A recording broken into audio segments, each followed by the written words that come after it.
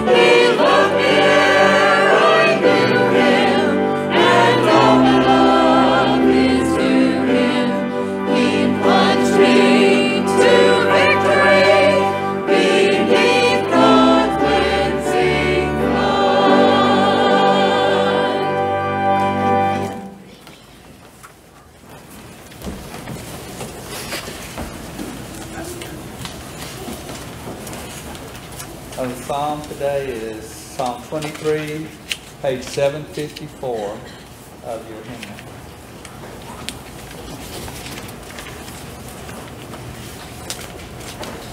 The Lord is my shepherd, I shall not want. The Lord makes me lie down in green pastures, Leads me beside still waters, restores my life. leads me in right paths for the sake of the Lord's name. Even though I walk through the darkest valley, I fear no evil.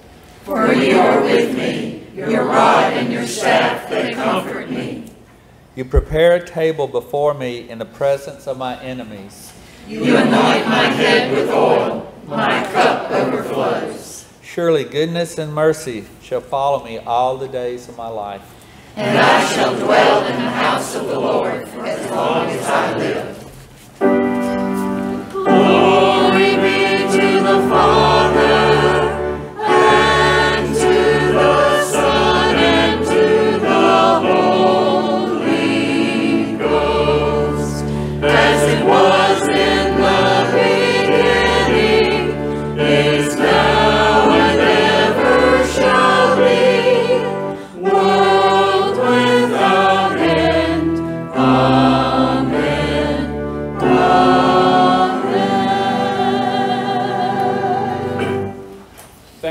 do be seated.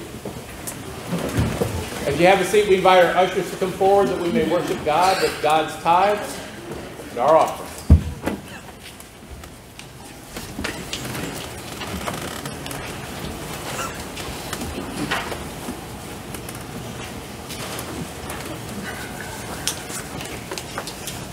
Holy Lord, as we read in the scriptures, we hear about times of plenty and we hear about times of lean.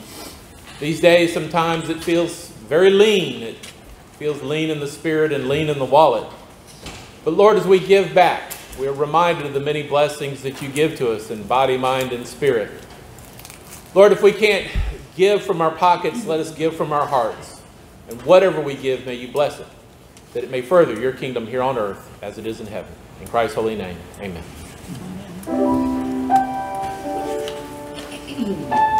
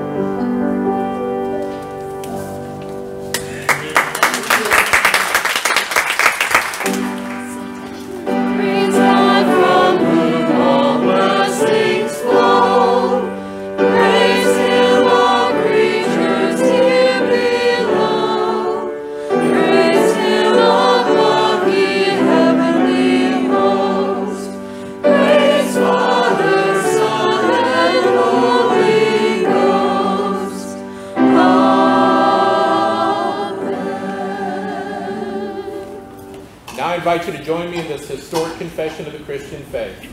I believe in God the Father Almighty, maker of heaven and earth, and in Jesus Christ, his only Son, our Lord, who was conceived by the Holy Spirit, born of the Virgin Mary, suffered under Pontius Pilate, was crucified, dead, and buried.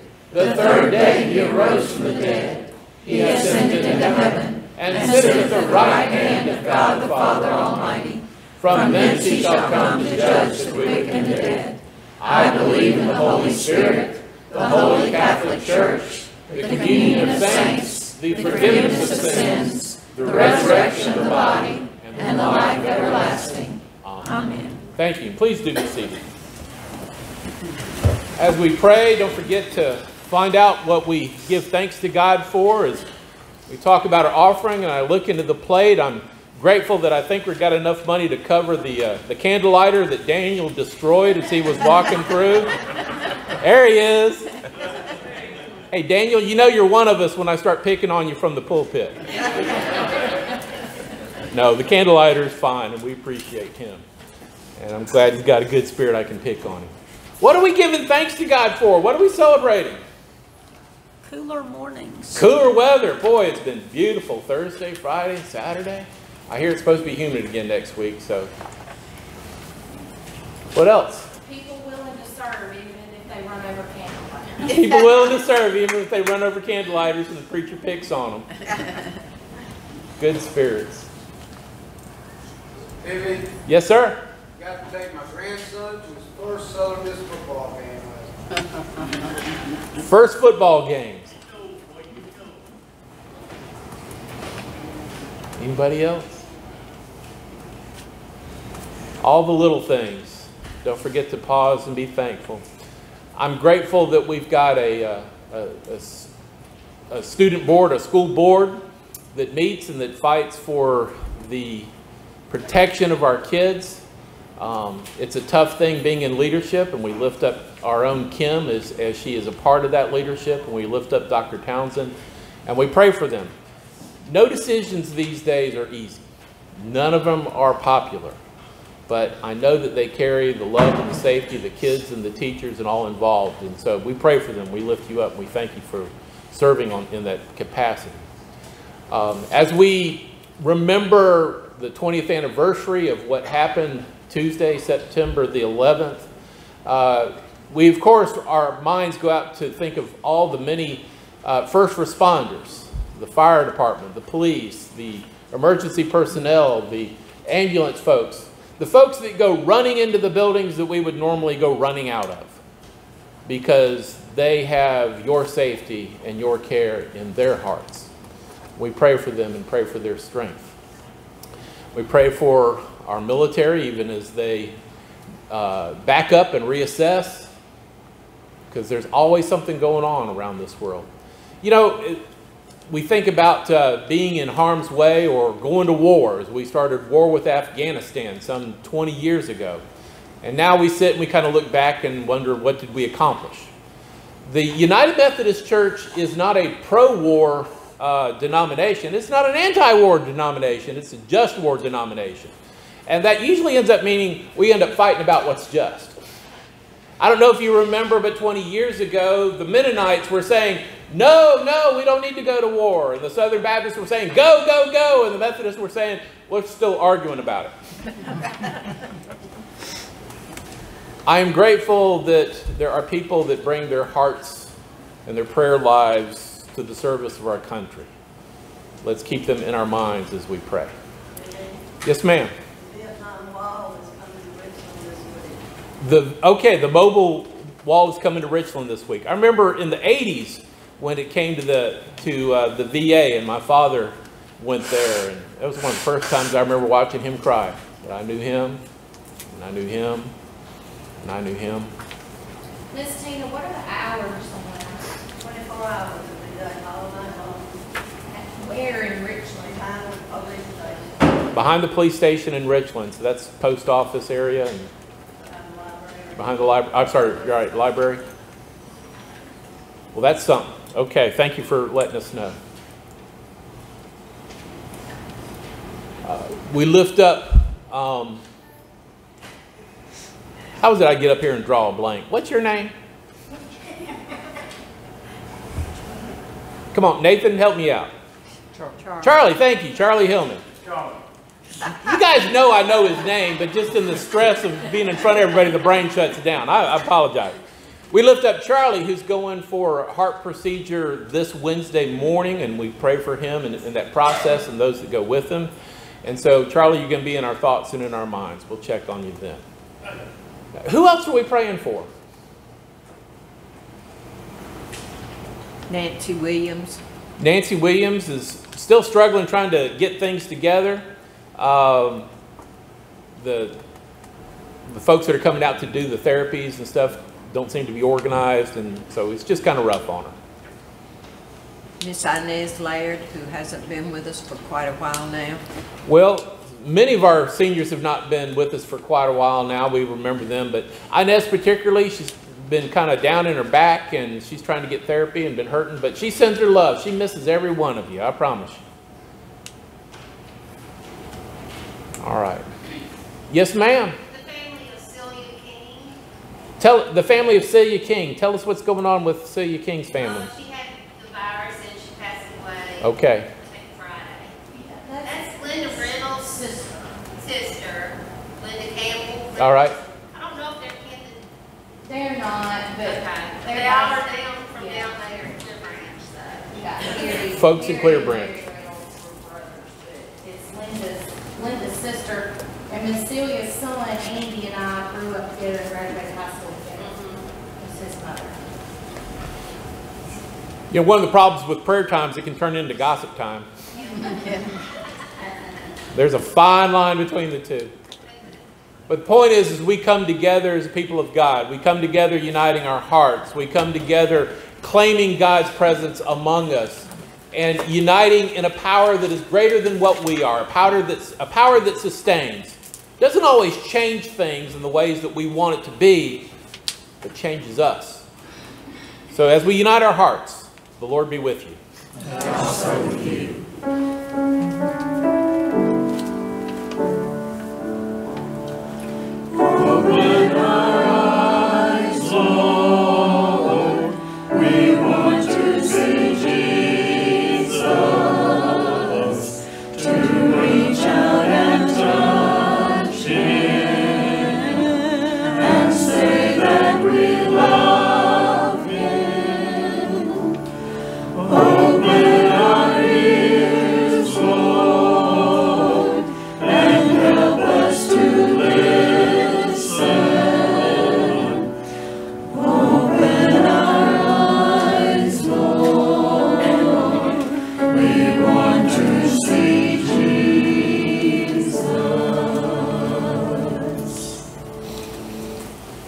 Lord God, thank you so much for the opportunity to pause in the midst of our lives, to have a, a Sabbath moment where we stop and we assess just who we are and who you are in us.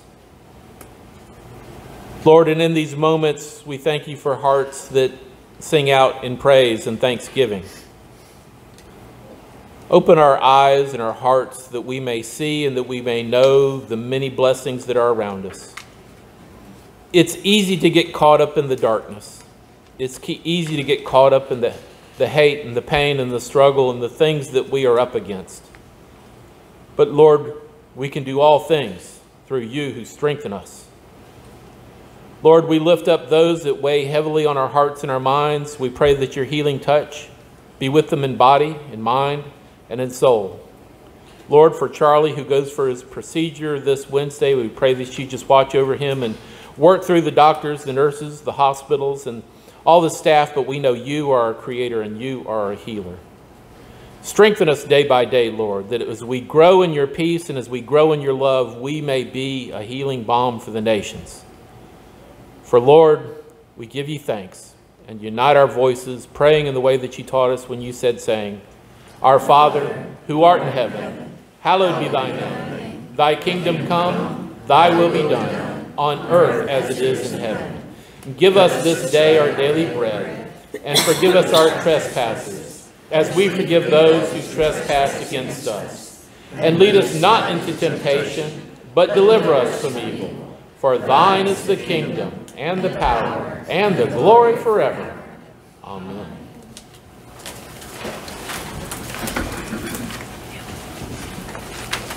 Thank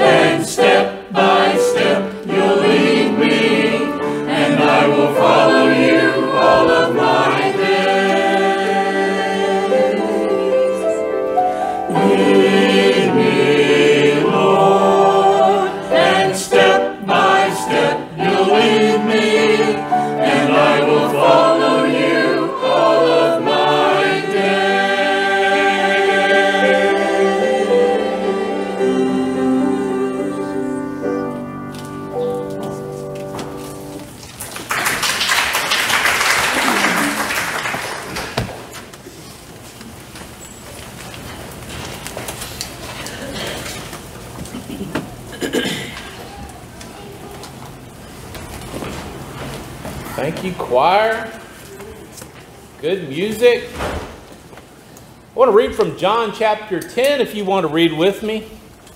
The Gospel of John. I just love the imagery in the Gospel of John. It's my favorite. I know, you know, we might each have different favorite ones, and certainly Mark and, and Matthew have their kind of flavor, but I love John. In the beginning was the Word. And John likes to use a lot of images, of course, a lot of, uh, a lot of you know, agricultural, farming images, and, and this is one. And so we hear that Jesus is the good shepherd. Chapter 10, starting in verse 1. Jesus says, Truly, truly, I tell you, he who does not enter the sheepfold by the door, but climbs in by another way, that man is a thief and a robber. But he who enters by the door is the shepherd of the sheep. To him the gatekeeper opens, the sheep hear his voice, and he calls his own sheep by name and leads them out. And when he has brought out all of his sheep, he goes before them, and the sheep follow him, for they know his voice. A stranger they will not follow, but they will flee from him, for they do not know the voice of the strangers. And this figure Jesus used with them because they did not understand what he was saying to them. So Jesus says to them again, Truly, truly, I say to you, I am the door of the sheep. And all who came before me are thieves and robbers, but the sheep did not heed them. I am the door. If anyone enters by me, he will be saved, and will go in and out and find pasture. The thief comes only to steal and kill and destroy. And I came that they may have life and have it abundantly. Beloved, it's the word of God for the people of God. Let the people say, Thanks be to God. Gracious God, may the power of your holy word speak to our hearts and our minds today just as it spoke to the disciples so long ago. Strengthen us. In Christ's name, amen. Well, I wanted to talk today about hearing God's voice. Now, that's always kind of a dangerous subject because I work with a woman who works in the mental health field, and when I start talking about hearing God's voice, she says, Now, do you hear those words on the inside of your head or on the outside of your head? God does speak to us. I hope we know that. You know, they often refer to the Old Testament as the time when God spoke to God's people. God continues to speak to us today, but I think one of the problems is there's so much else that's speaking to us. There's so much else that's screaming at us and vying for our attention. Sometimes it's hard to listen. John gives us this image, this pastoral image of the sheep calling, or the shepherd calling the sheep. And the sheep know the shepherd's voice. Now, you kind of have to imagine what this is like because the way that sheep herding happened back in the first century and for a long time uh, is very different from the way that we herd cows and such today. Now, I, I, believe it or not, I do have a little bit of agricultural experience. I, I don't have near as much as the Gordons or the Rosses, I bet, but I've worked with cows and I've worked with sheep too. And I'm here to tell you, sheep are stupid. I don't like the image of that we're sheep. But you know, sometimes we don't do some things that are very smart.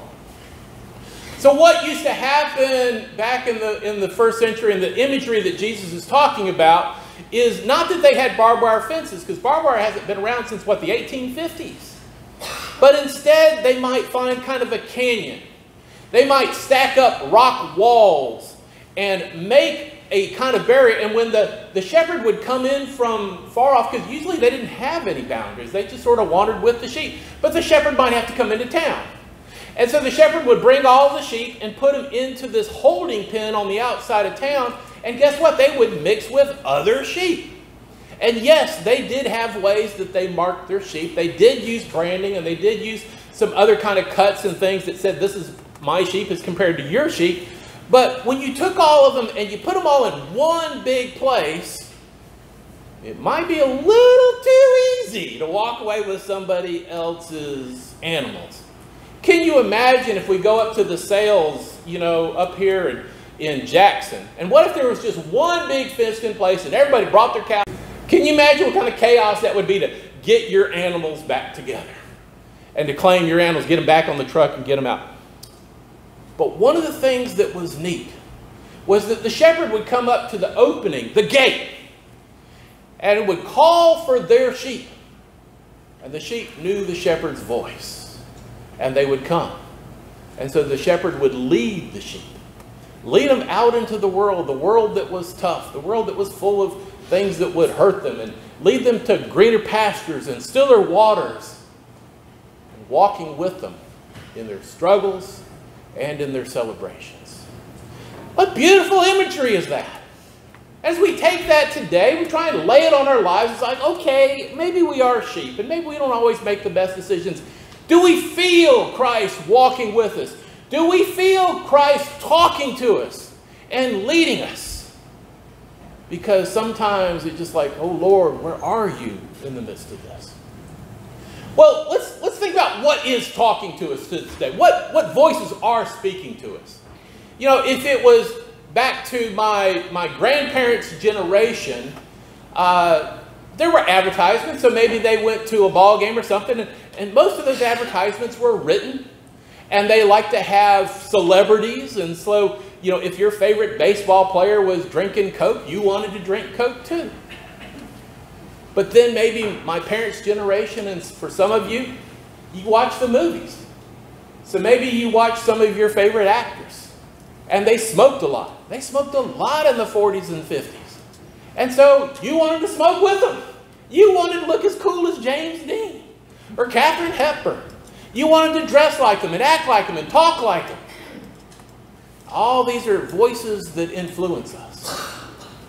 And maybe my generation, yeah, certainly it's sports stars, and, and, and we wanted to wear their shoes and Michael Jordan's and, and such as that. But then there were all these magazines. And the magazines, we could look at them. And so, you know, I like the hunting and fishing magazine. And of course, you had to have the, the best new rifle or the, the best new scope. And, and so they showed somebody that had this big old beautiful animal with the new rifle. And so, hey, if I buy that rifle, I can hunt like that too. No. Take skill or something. I don't know. And then, unfortunately for women, a lot of the, the magazines were showing women that weren't real. As digital technology comes on, they lengthen their legs and they give them bigger breasts and they change the color of their skin. And so there are these images out there that are screaming, you need to act like this, you need to be like this, you need to trust in this. And it isn't even real, is the sad thing of it. And so many people, so many young people feel the pressure of that. And even today, all you got to do is watch commercials. If you brush your teeth with this toothpaste or chew this gum, you're going to have girls all over you. or if you drive with these tires on your car, your family's going to be safe. We want all these things. And they speak to us. Sometimes they lead us astray. But the dangers of the modern age are that it's not just so much about celebrities that we might see on gum cards from the 50s, and it might not even be about some of the old movies, and it might not even be about the magazines, but now we have the internet and we have all these things they call influencers. All right, old folks, let me cue you up. Anybody, anybody can start a web page. Tyler Hocutt can start a web page. And Tyler Hocutt can do a web page based on style. And he can show you how to put on the, the newest creams or wear the newest jeans or whatever. And if enough people like his web page and they click on it, they say they like it, and he gets enough subscribers, guess what? Some of the people that sell the creams and the jeans, they'll start to pay Tyler to do this. So Tyler wants to do more of it. And then it's all about how many people like you. But y'all like to be liked? I, I like to be liked. But how cool is it to actually have 500,000 people click a button that literally says, I like you? And there are these influencers that are out that say you need to act this way, you need to be this way, you need to do this. And guess what? Some of these influencers are political too. And a lot of people are listening. A lot of people are hearing these voices. A lot of people are, are having all this scream at them. But we need to hear the voice of Christ. The voice that leads us to calmer waters, to greener pastures. Not the voice that calls us out to death and destruction. There are false voices that are out there. But we need to know that the voice that we want to hear is that of the Good Shepherd. So, how then, preacher? How then, in the midst of all the voices that are screaming at us, whether they be on TV or whether they be in magazines or whether they be in influencers or news broadcasts, how do we hear the voice of Christ out of all of that? Well, I've got a little experiment I want to do with you to try and make my point.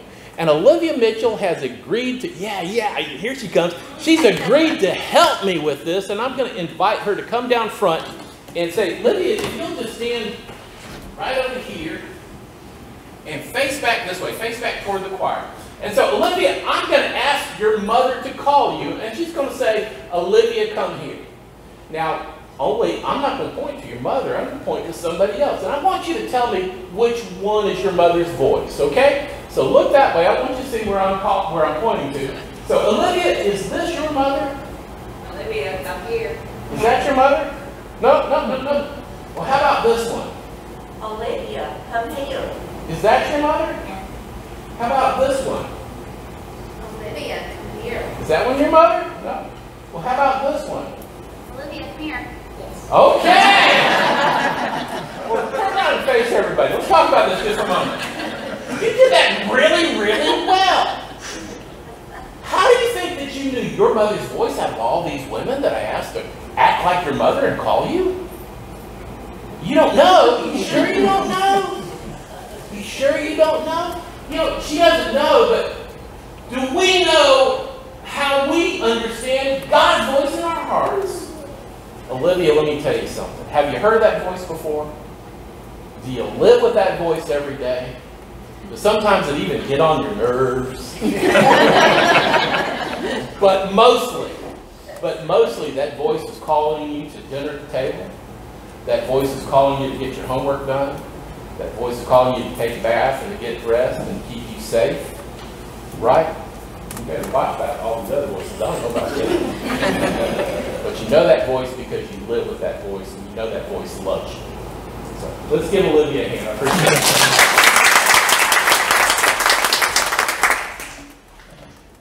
Thank you, Olivia.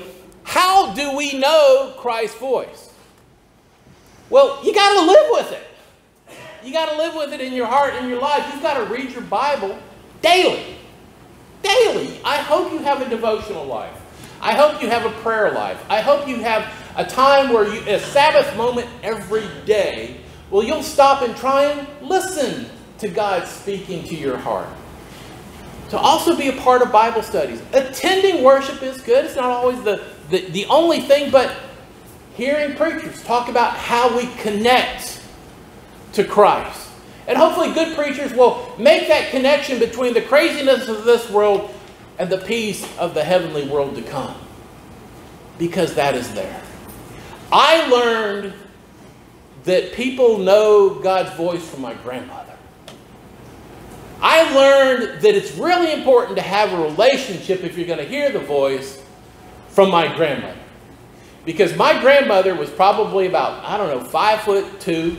She might have weighed 90 pounds soaking wet. And every morning before dawn, as the sun was coming up, she grabbed two five gallon buckets. One had a bunch of corn in it, and the other one had sweet feed. And she would walk down to the edge of the fields and she would put her hands to her mouth and go,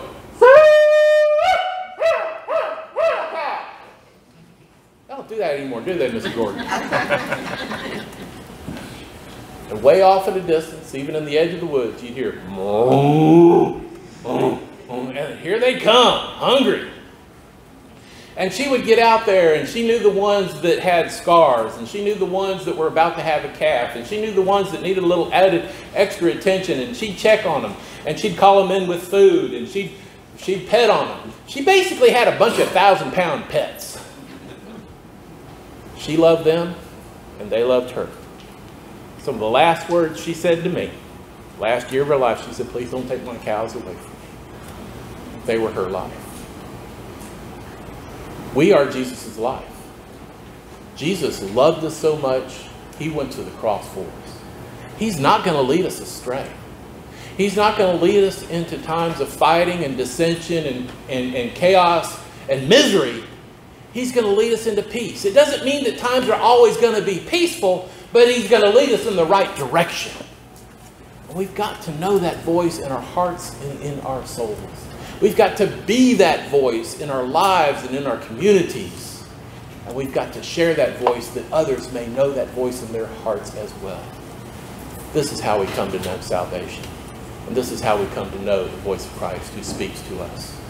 May God bless the hearing of his holy word. Let's pray. Lord God, I thank you that you have not given up on us and that you continue to talk to us, continue to lead us to calmer waters and to greener pastures. Help us, God, in the midst of all that screams out of us, that we may hear your voice and your voice alone. In Christ's holy name, amen. Our closing hymn is on page 398. Jesus calls us. 398 in your hymnal. I'll invite you to stand as we sing.